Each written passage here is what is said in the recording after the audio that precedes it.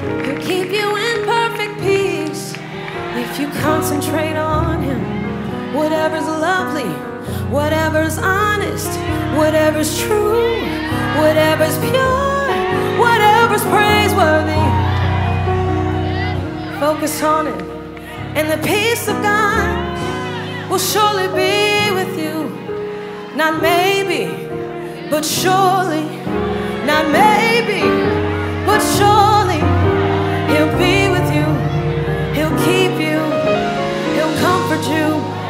supplies means to you, whatever it is. Just focus, concentrate, concentrate, concentrate, concentrate. Right now, concentrate, concentrate, concentrate, concentrate. Right now, concentrate, concentrate, concentrate, concentrate.